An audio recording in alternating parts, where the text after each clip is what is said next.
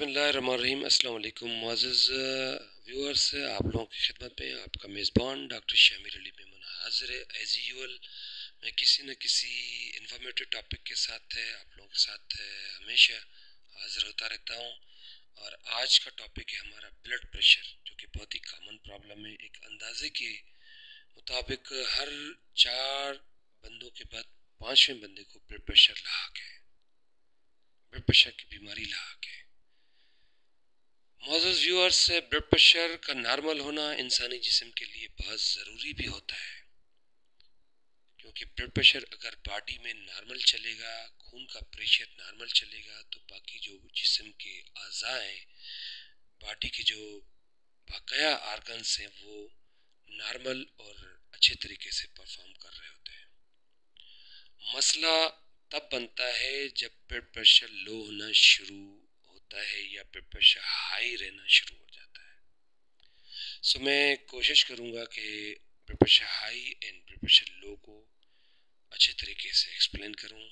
और प्लीज़ मेरी आप लोगों से सबसे दरख्वास्त है कि गौर सुने में बहुत ही आसान तरीके से एक्सप्लेन करना चाह रहा हूँ आज। क्योंकि अगर मैं इसमें मज़ीद कोई मेडिकल टेक्नोलॉजी वगैरह अगर इस्तेमाल करूँगा तो जो मेडिकल की ज़्यादा नॉलेज नहीं रखते मेरे व्यूअर्स तो उनको फिर समझ नहीं आएगा। तो मुझे फिर खुद को मज़ा नहीं आएगा।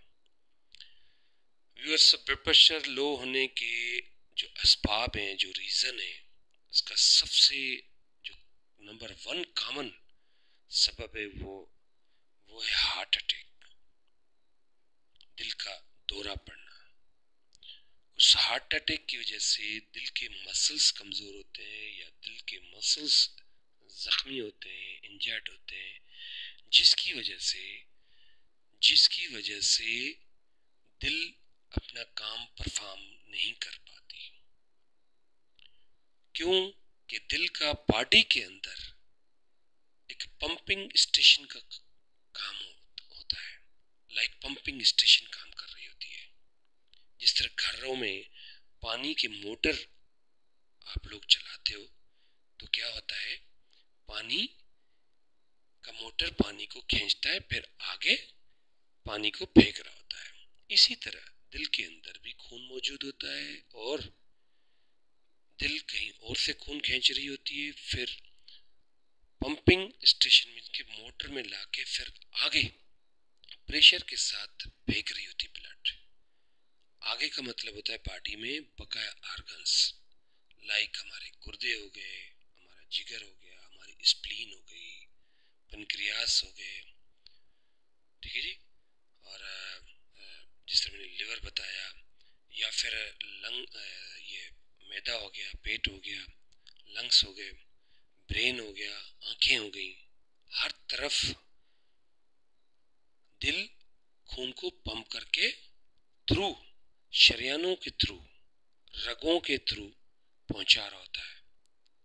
विद इन मीन टाइम जो मुकर टाइम है। अगर मुकर टाइम के अंदर खून पहुँच रहा है तो दिस इज़ नॉर्मल फिर काम तब खराब होता है, जिस तरह मैंने बताया कि जो कॉमन प्रॉब्लम है, वो है हार्ट अटैक अगर हार्ट अटैक हो जाए तो फिर वो प्रॉपर और मुकर टाइम पे खून नहीं पहुँचा पा रही होती दिल, क्योंकि दिल कमज़ोर हो जाती है और दिल स्लो वर्क कर रही होती है। इसी तरह मैं कंपेरिजन कंपेरिजन दूँगा क्योंकि हमने पंपिंग स्टेशन का नाम दिया है। हार्ट को और पानी के मोटर के साथ उसको मुंसलिक किया है तो ताकि मेरे व्यूअर्स को इजीली समझ आ सके। लेट सपोज़ अगर मोट पानी के मोटर में कोई प्रॉब्लम आ जाए तो क्या पानी का मोटर प्रॉपर पानी फेंक पाएगा? नो नहीं फेंकेगा। या फिर, क्योंकि अगर ज़्यादा प्रॉब्लम आ गया है, जिस तरह मैंने हार्ट अटैक बताया, या तो फिर वो चौक हो जाता है, फिर पानी आगे फॉरवर्ड नहीं कर पाता। बाकी हल्का फुल्का जिस तरह उस ट्रामा की वजह से जो हार्ट अटैक है दिल का जो दौरा पड़ा है, उसकी वजह से जिस तरह कमज़ोर हो गई हार्ट के मसल्स वगैरह तो दिल काम कर रहा होता है बट वो परफॉर्मेंस नहीं दे पा रहा होता। उस स्पीड में खून नहीं फेंक रहा होता, जितनी स्पीड पल्स को ज़रूरत होती है। स्लो स्पीड में जाता है लो स्पीड में जाता है। फिर उसके अपने कॉम्प्लिकेशन उसकी तकालीफ शुरू हो जाती है उसके अगेंस्ट में। एक तो वजह ये हो गई। दूसरी वजह, पानी का कम होना बॉडी में से। क्यों? कि जो ब्लड के बकाया कंपोनेंट्स है, जिस तरह white cells red blood cells हो गया, या प्लेटिलेट्स हो गया, तीन तो ये हो गया फिफ्टी परसेंट कोई ऑलमोस्ट फिफ्टी परसेंट ये कंपोनेंट से बाकी फिफ्टी फाइव परसेंट पानी होता है प्लाज्मा होता है। लेट सपोज़ अगर किसी इंसान को कॉन्स्टेंटली उल्टियाँ आना शुरू हो जाती हैं या लूज मोशन डायरिया दस्त शुरू हो जाते हैं तो उसके वजह से बॉडी का फ्लूड लेवल कम हो जाता है, पानी की कमी हो जाती है। ओबियसली जब मोटर को पानी नहीं मिलेगा तो पानी कैसे खींचेगा? क्योंकि इस पानी में ब्लड के बकाया कंपोनेंट्स भी शामिल होते हैं, एक इसका कंप्लीट नाम ब्लड है। तो जब ब्लड पूरी नहीं होगी बॉडी के अंदर, या पानी नहीं होगा जिसम के अंदर तो हार्ट कहाँ से खींच के आर्गन्स तक पहुंचाएगी बाकी अजा तक पहुंचाएगी। ओबियसली ज़ाहिर है फिर क्या होगा? लो प्रेशर हो, जाएगा। मीन्स कि जितना होगा उतना ही खींचेगी। लो प्रेशर हो जाएगा। उसके ऐसे हार्ट के मसल्स भी स्लो काम करते हैं। दो वजूहत तो ये हो गई। तीसरी वजह कुछ मेडिसिन भी होती हैं। भी बीमारी के लिए कोई डॉक्टर कोई भी तजवीज़ करता है, लोग अक्सर खा रहे होते हैं तो उन मेडिसिन का साइड इफ़ेक्ट भी होता है, क्योंकि वे वेजो डायलिटेशन करती हैं। वेजो डायलिटेशन हम कहते हैं मेडिकल में, रगों को चौड़ा करती हैं, साइज़ थोड़ी सी वक्ती तौर पे बढ़ जाती है। नॉट मुस्तकिल वक्ती तौर पे थोड़ी सी साइज़ जब खुल जाती है, खुलने की वजह से क्या होता है, उन दवाइयों का साइड इफ़ेक्ट होता है। किसी भी मर्ज के लिए खा रहा होता है इंसान। तो उन साइड इफ़ेक्ट की वजह से जब रगों की साइज़ थोड़ी सी खुलेगी तो क्या होगा? ओबियसली जो प्रेशर होगा, वो प्रेशर मर जाएगा, थोड़ा स्लो हो जाएगा। तो स्लो पहुंचेगा फिर ब्लड तो जिसकी वजह से लो ब्लड प्रेशर हम उसको काउंट करते हैं। फिर हम जिस तरह मैंने वजूहत बताई और भी वजूहत हैं जो कि कॉमन नहीं है। सो फिर हम वजूहत हिस्ट्री लेके मरीज़ से जब हम पूछते हैं भाई क्या मरा सबसे पहले तो उसका अपीयरेंस देखते हैं। अगर खून की कमी है तो ओबियसली जो मॉलिज है वो फिर उसको खून तजवीज़ कर रहा था कि भाई ब्लड लगाओ। या अगर पानी की कमी है उल्टी दस्त हुए हैं तो आ, आ, उसको रिहाइड्रेट हम कहते हैं। पानी और नमकियात दोनों चीज़ें हम उसको दे रहे होते हैं वापस।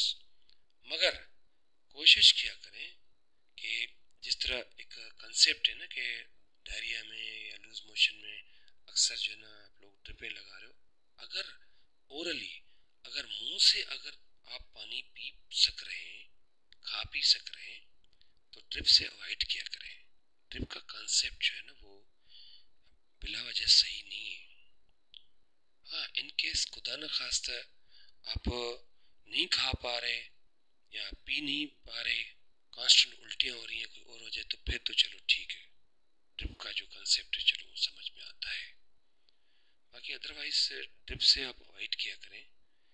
जिस तरह निमकोल वगैरह, इस तरह की चीज़, निमकोल आप पी सकते हैं, क्योंकि एक निमकोल ऑलमोस्ट दो गिलास या चार गिलास में ड्रिप के अंदर क्या होता है? डायरिया में जो ड्रिप लगता है, उसके अंदर क्या होता है? इलेक्ट्रोलाइट्स होता है। नमकियात होते हैं उसके अंदर ही, और पानी होता है। एक वन थाउज़ेंड मिलीलीटर के अंदर लगभग कोई एवरेज चार गिलास पानी के होते हैं। उससे बेहतर है आप निमकोल बना के आप निमकोल पी लें रिहाइड्रेट कर दें नमकियात आपको पानी वैसे ही मिल जाएगा। ठीक है जी? तो ये तो हो गया वजह रीज़न सबब और फिर इसका ट्रीटमेंट है अगर हार्ट अटैक हुआ है तो ओबियसली आपको कार्डियोलॉजिस्ट की तरफ़ जाना पड़ेगा। उस चीज़ को देखेगा, फिर उसके अकॉर्डिंगली उसको ट्रीट करेगा ताकि आपकी हार्ट जो है रिपेयर हो सके और हार्ट के मसल्स स्ट्रांग हो सके, फिर आप नॉर्मल पोजीशन पे आ सके। नॉर्मल ब्लड प्रेशर आपका चलना शुरू हो जाए। अब अब हम आते हैं ब्लड प्रेशर हाई के पेशेंट्स की तरफ़। कि ब्लड प्रेशर हाई क्यों होता है? ब्लड प्रेशर हाई की सबसे पहले तो मैं वही मोटर वाली मिसाल दूँगा, जिस तरह पानी जो है वो, हम मोटर चलती है और पानी के पाइप को हम जैसे ही आगे उसके मुँह मुँह को दबाते हैं और उससे क्या होता है, आधे सपोज़ करो, आधा दबाते हैं तो आधा खुला होता है, उससे क्या होता है प्रेशर बढ़ जाता है। वो प्रेशर से दूर पानी फेंकता है पाइप। अगर इंसानी रगों के अंदर, इंसानी रगों के अंदर वेंस के अंदर शरियानों के अंदर अगर कोलेस्ट्रोल जमना शुरू हो जाए जिस तरह हम मैंने समझा ना कि पाइप को हम दबाते हैं एक हिस्सा बंद करते हैं जब कोलेस्ट्रोल बन, बनना शुरू हो जाए फिर कोलेस्ट्रोल क्या होता है? रगों की रगों की दीवारों से जमना शुरू हो जाता है। ये कोई एक दो दिन या पाँच दिन में नहीं होता। महीनों लग जाते हैं सालों लग जाते हैं कोलेस्ट्रोल को जमा होना ठीक है जी? उसकी वजह से क्या होता है, जो शरियान है, उसका जो अंदर जो स्पेन है, वो कॉन्ट्रैक्ट कॉन्ट्रेक्शन हो जाती है। कॉन्ट्रैक्ट मतलब कि उसका साइज़ कम हो जाता है। तो ऑब्वियसली जब साइज़ कम होगा और आगे आपके आर्गन्स को, अज़ा को ब्लड चाहिए, उसी मकदार में नॉर्मल मकदार में चाहिए, जब साइज़ कम होगा डू यू थिंक कि उनको ब्लड पहुंचेगा। क्योंकि ब्लड का फ्लो स्लो हो जाएगा। स्लो की वजह से नेरो की वजह से हार्ट को एक्स्ट्रा मेहनत करनी पड़ती है। क्योंकि हार्ट पंपिंग का काम, जिस तरह मैंने बताया, फिर ज़्यादा पंप करती है। ज़्यादा पंप करती है ताकि विद इन टाइम मुकर टाइम पे खून पहुँचे। फिर उसके अपने नुकसान शुरू हो जाते हैं। नुकसान क्या होते हैं?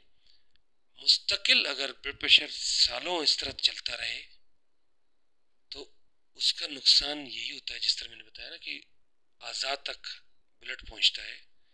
फिर क्या होता है, क्योंकि गुर्दों की तरफ़ भी खून जाता है, गुर्दों को बार बार तेज़ी से अगर फ्लू जाता रहेगा, फ्लू लगता रहेगा ब्लड लगता रहेगा, ऐसे ही है कि जिस तरह पानी को बंद करके एक एक साइज़ उसकी पानी के पाइप का जो दायरा होता है, उसको एक साइड बंद करके आप स्पीड पकड़ाते हैं। स्पीड से जब जाएगा, जब आप मारते हैं ज़मीन के ऊपर तो क्या होता है? ज़मीन को तोड़ना शुरू करता है। सुराख बनना शुरू हो जाते हैं वहाँ पे। तो एज वेल सेम गुर्दे की तरफ़ अगर इसी तरह स्पीड से जाता रहेगा तो क्या होगा?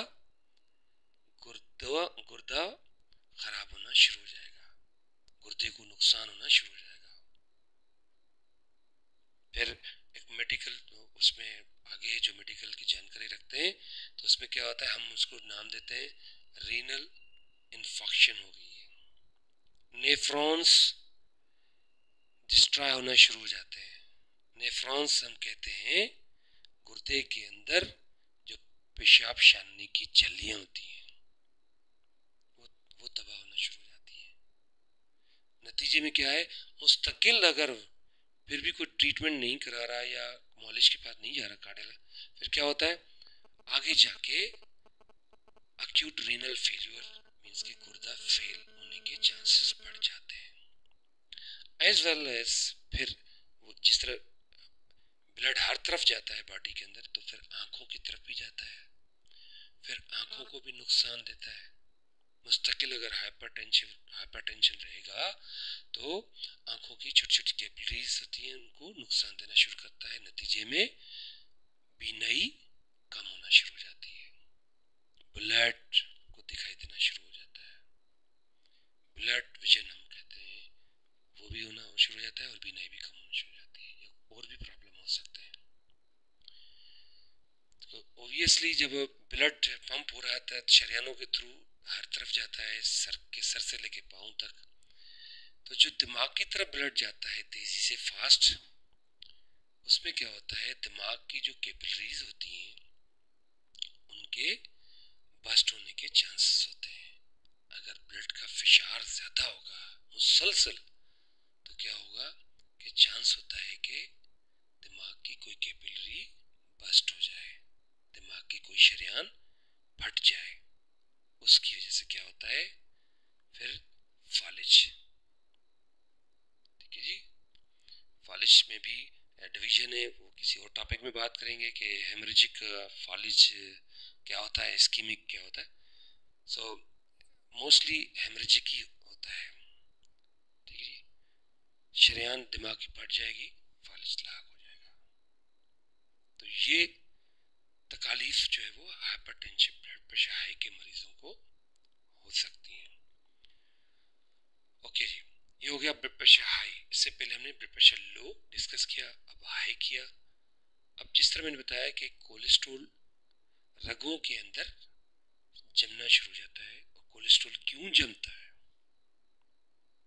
उसकी वजूहत क्या है, उसके रीजंस क्या है? नंबर वन मुस्तकिल ऑयली चीज़ें खाना, चिकनाहट वाली चीज़ें खाना मुस्तकिल। और फिर नतीजे में एक्सरसाइज नहीं करना, पैदल वाक नहीं करना, पैदल नहीं चलना तो मेरे भाई एक चीज़ जमा हो रही तो कहाँ जाएगी? अगर आप उसको यूटिलाइज नहीं करेंगे एनर्जी जो जमा हो रही है फेट की सूरत में, जब आप चलेंगे, फिरेंगे नहीं तो कहाँ कंज्यूम होगी? आप कसरत नहीं करेंगे उसकी वजह से फिर जमना शुरू हो जाता है। हाँ अगर आप कसरत करेंगे तो नहीं जमा होगा। दूसरी चीज़, मोटापा। मोटापे की वजह से भी, क्योंकि बॉडी वेट पुटान कर रही होती है, उसके नतीजे में भी कोलेस्ट्रॉल जमा होना शुरू हो जाता है। कोलेस्ट्रॉल की वजह से भी वेट पुटान होना शुरू हो जाता है।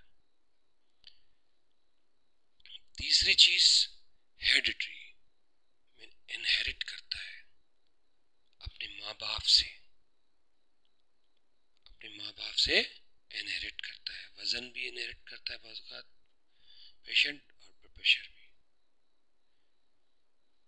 चौथी जो अहम चीज़ है एजिड पीपल जब इंसान की उम्र बढ़ जाती है, खास करके 60 प्लस के बाद। सिक्सटी प्लस के बाद जब उम्र होना शुरू हो जाती है तो उससे क्या होता है, जो हमारी जो शरियाने हैं, वो हार्ड होना शुरू हो जाती हैं। हार्ड होना शुरू हो जाती हैं, जब वो शरियाने हार्ड होंगी तो ब्लड का फ्लो मुतासर होता है। हार्ड शरियान से, सख्त शरियान से खून प्रॉपर तरीके से नहीं पास हो रहा था नॉर्मली उससे भी हार्ट को प्रेशर देना पड़ता ज़्यादा वर्क करना पड़ता है। ठीक है जी? मुझे उम्मीद है कि तमाम व्यूअर्स को मेरा जो आज का टॉपिक था समझ में आ गया होगा। अगर फिर भी कोई क्वेरी वगैरह है तो फील फ्री आप मेरे पेज पे आप लिख सकते हैं। मैं ज़रूर तमाम व्यूअर्स को जो जो मुझसे करस्पॉन्डेंस करते हैं, मैं उनको ज़रूर कोशिश करता हूँ कि उनको उनकी क्वारीज का जवाब दूँ। और मैंने आज ये टॉपिक इंपॉर्टेंट समझा डिस्कस करना बिकॉज़ जिस तरह मैंने इस टॉपिक से पहले ही मैंने आप लोगों को एक बता दी थी कि एक अंदाजे के मुताबिक चार से पाँच या छः छठा लोग, अगर छः लोग हैं तो पाँचवें लोग या छठे छठे बंदे को ब्लड प्रेशर हाई या लो का मसला गए खास करके वो एज ग्रुप जो 40 साल से ऊपर है। ये उन लोगों की बात कर रहा हूँ मैं। So thank you so much आप लोगों ने मेरी बात सुनी। अपने मेज़बान डॉक्टर शामिर अली मेमन को इजाज़त दें। इंशाल्लाह किसी और इन्फॉर्मेटिव टॉपिक के साथ हाजिर होंगे। अल्लाह आप लोगों का हामी और नासर रहे। पाकिस्तान जिंदाबाद। Thank you so much Allah हाफिज़।